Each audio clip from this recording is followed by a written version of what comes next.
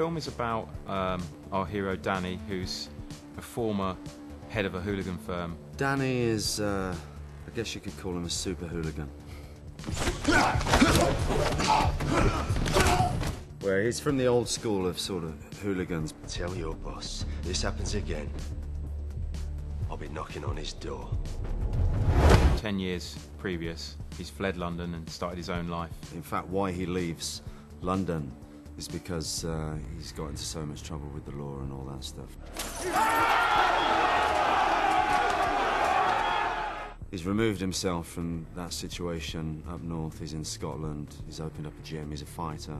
He's training fighters. He's been fighting himself. And his wish was always to take his little brother with him, but his little brother remained, Joey remained in uh, uh, London, supporting West Ham, getting involved with the Green Street firm. And eventually his brother gets himself into trouble. Joey, Danny, our hero's brother, is, uh, is killed.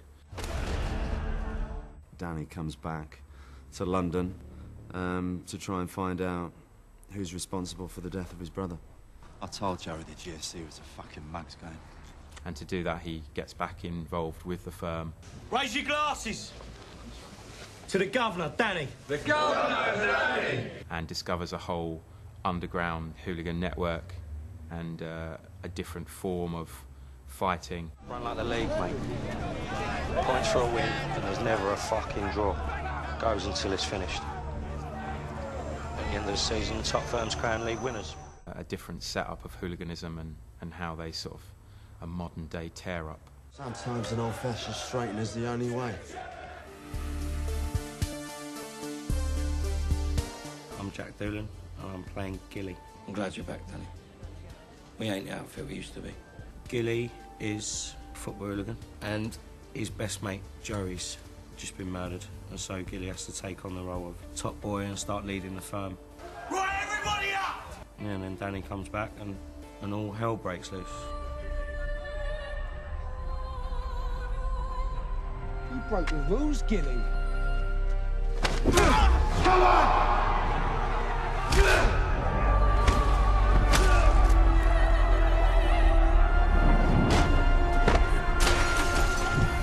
Spencer Wilding, and I play my character's called Mason.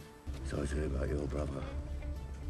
That weren't cricket then. He's been like a head of Millwall for a few years now, and he's just such a he's he's an horrible naughty boy. I'll find out who did it. And I'll fucking end them. Good luck with that. He's just mental. He's like he's he's off the rails. You know, there's no stopping him. Oh, My name is Joey Ansah, and I play the role of Victor. means it's more organised now. Hooligan's done some pretty heavy sentences. No one wants to do a 10 stretch. Come on, Vic. You trying to tell me it's all stopped? Look, they're not smashing shit out of each other on street corners anymore.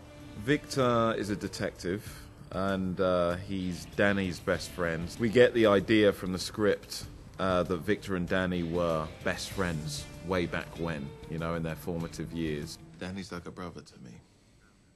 I can't stop until I find the people that killed Joey. Danny went the way of the firm, I went the way of the force. Come on. I want you to prove to me that you still got it. When um, Danny's brother is killed, I'm the one to break the news to him, and uh, I'm there to try and help solve the murder. We're working on both sides of the fence. My name's Josh Myers, and I play Big John. Oi! Joey's death hit us all. Should we find out how big you really are, John? Uh, knock it off, gentlemen. I'm basically Gilly's best friend in the film. Um, we fight in the firm together. Go around smashing people up, basically. We ain't fucking done it! We ain't fucking done!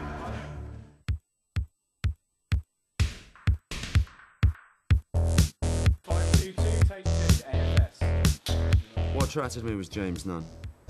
I met with him, we spoke about the, the film, He didn't have a script at the time. He told me about the story. When I saw his film Tower Block, that, that pretty much made my mind up. Scott's an incredible actor. I'm so uh, fortunate to, to have him on this job, actually. When I met him, I, I really, you know, I sold the film. I really tried to pitch my heart out to him that this is going to be an amazing film. And uh, I think he probably walked away thinking, who's this kid? and I was actually going to a festival in Texas, the Fantastic Fest. Got off the plane and then James was there.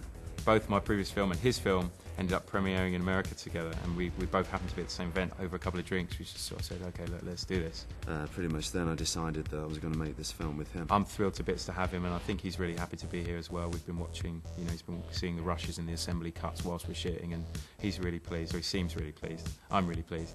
These hooligan movies, um, I can definitely see the attraction and why people like these types of films. And with this one, we've got a chance to uh, make it a bit more stylistic and um, turn it into a bit more of a fight movie than what you'd expect. But also for me, I've not done a British film before, and um, I've been 12 years into this business, and I thought it was, well, it's about time I make an English movie. This isn't sort of rooted in reality, you know, this isn't trying to be 100% authentic, you know, this is mixing the worlds of footwear hooliganism and, and mixed martial arts and sort of bringing those two worlds together. This has sort of been my dream job, you know. To, I've been a martial artist, but I've been in the films for 10 years, and I've never had a fight on screen. Over the last few years, I've done quite a lot of comedy and, and played quite a lot of uh, lovable idiots. So the chance to come and play, you know, someone, a, a very angry young man, um, appealed to me quite a lot. Getting to do a bit of martial arts and what a film to do it. You know, it's a really strong character. He has lots of fights. I felt as an actor, I've nailed the villain thing, and I can kind of do that easily. What I haven't done and want to do is the more hero role, the good guy role. So the Victor role in the script um, jumped out at me, and I thought, yeah, this is the role I'd like to play. I see a lot of films I do, I end up dead at the end. So this one, I actually survive, which is a nice change. It's been great working with Scott. You know, he's this incredible martial artist. And he's actually a pretty good actor as well, which was, you know, which was pleasing. He's, he's wicked Scott, and he's a very good martial artist as well, and he's does great fight scenes as well. So he's he's he's pucker. He's really good. I'd love to work with him again. Well, it's great because I come from a martial arts background. You know, I, I, I, I was a professional kickboxer for years, and I've been a bit of a fan of Scott Adkins over the over the years. And he works with a lot of my heroes, like Van Damme, and you know, a lot of numerous other names. Uh, and I'm, I, you know, I'm in awe of him. You know, and it's great to work with him and share blows. We are the Green Street Elite. And we will be the number one firm again.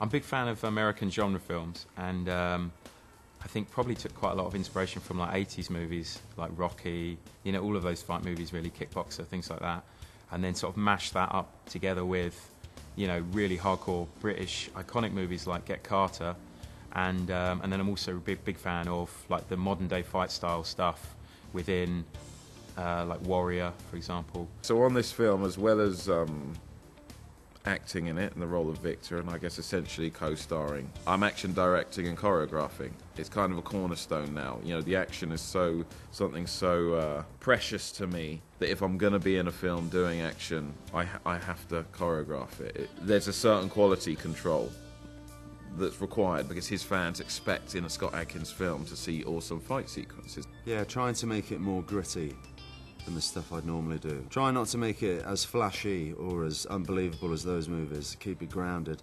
But at the same time, it is a movie, and you need a bit of flash in there, so we're trying to pick moments. We both need to ensure that it's done right. Joey, who's our fight coordinator, um, he's, he's really good, and met up with him a couple of weeks before shooting and did a bit of boxing training, and you know, just to get me. I mean, I'm no, I'm no Bruce Lee, but you know, they just made me look a little bit more proficient and made me look like I knew what I was doing, you know. I think the action in this is insane, and there's such a variety between all of the fights. The, the fight choreography that we do is, I mean, it's very, I mean, some of it's very brutal. There's a scene in the film where I, uh, you know, I bottle someone and um, I knock someone out, and then obviously, you know, this is a stage in the film where we're not that good, so we get, you know, beaten and trampled on as well. James phoned me about a month before shooting and said, Jack, I think you, um, you better get yourself down the gym and, and start training a bit before we start shooting. And I thought, oh no, it'd be fine. It's only a bit of fake fighting. And then I turned up on the first day and it's just been brutal ever since. There's a bit of a crossover when it comes to the fight scenes because we've got some fantastic fight choreographers and um, fight co- fight coordinators involved. I hate filming the fight scenes, I'll be honest with you, even though I'm known for that.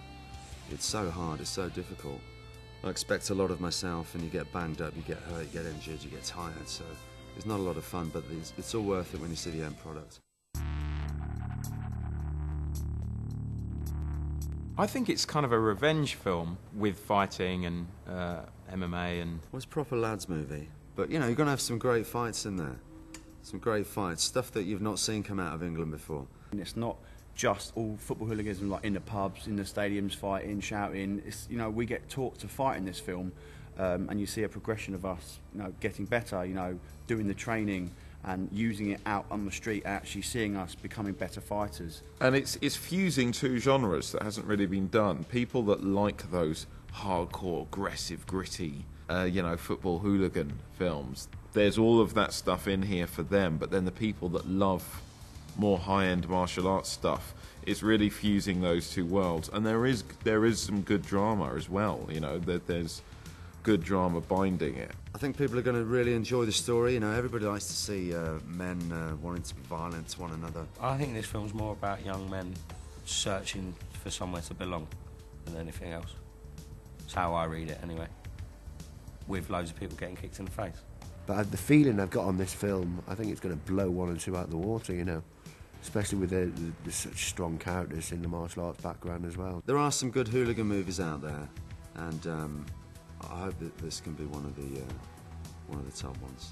I'm not just saying it, but going through this film process and watching the rushes and stuff, this is going to exceed expectations. It's going to go beyond the standard, you know, material that you would expect from something in this genre. I think if you like action movies and hooligan movies, this is going to be uh, one for you, and hopefully something that hooligan fans and uh, and film fans haven't seen before. So hopefully they'll take something original from it, and especially for a, a, a small UK movie.